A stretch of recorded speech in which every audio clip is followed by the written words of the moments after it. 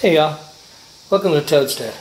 Well what you're looking at is the little Viper power auger that we use here on the Toadstead and this thing's kind of getting old, it's been around for a while now and let me see if I can show you what the problem is.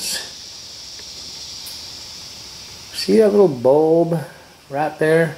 That's the primer bulb. Well it has just disintegrated and uh, it's time to fix everything up.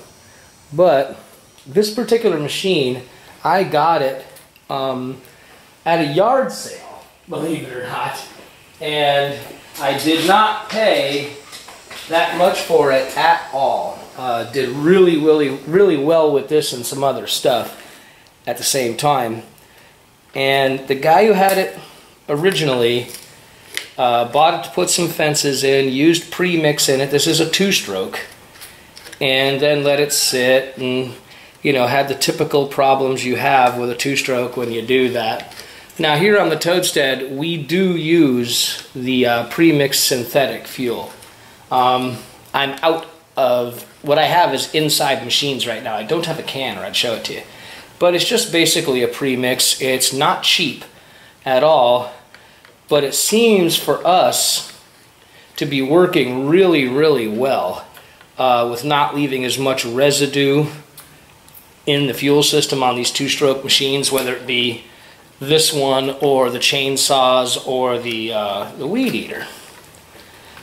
Well, when this primer bulb started to go bad and this carburetor started to act funny, bottom line is I just decided to go ahead and replace the carburetor.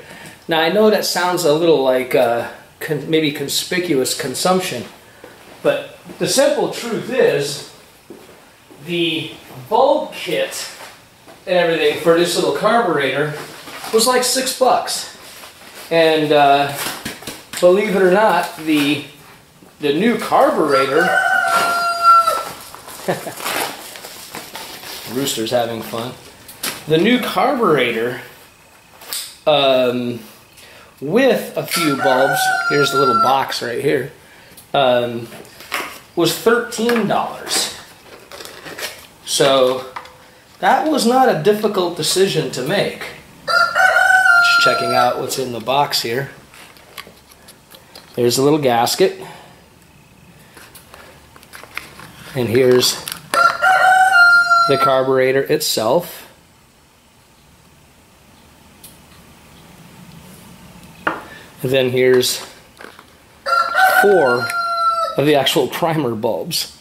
So we're going to take this apart and uh, just swap out the carburetors.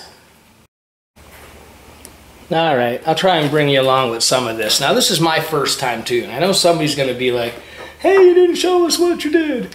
All right, now hopefully you can see that. I have no idea. Let's see. Here we go.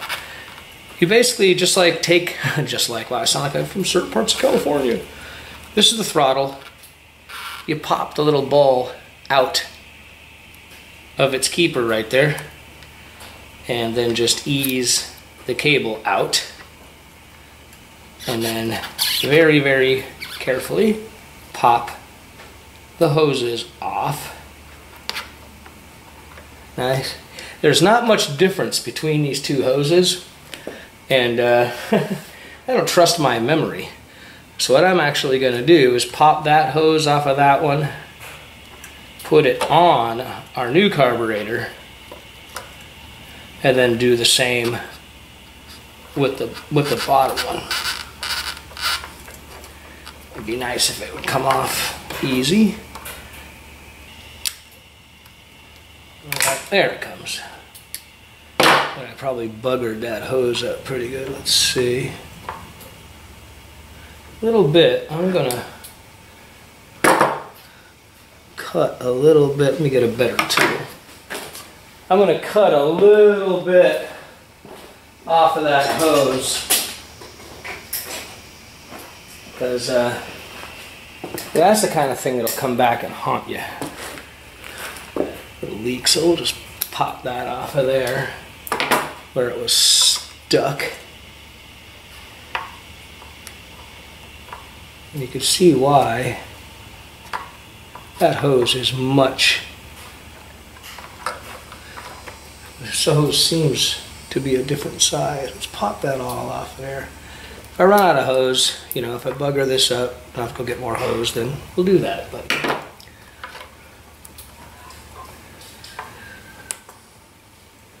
that, that's not going to want to go on there very easily at all. That port is much larger than the one on top, but the hose looks to be about the same size. Let me uh, muck about with this and then we'll come back. Alright, you see the bottom one is on there. I just ended up having to find a uh, pair of pliers and very, very carefully just expand it on there. I, I stuck it into the, I stuck a Phillips head screwdriver into it and uh, kind of expanded it a little bit, and then shoved it on with a pair of pliers. So that went on pretty well. And you saw the two screws. These are right here.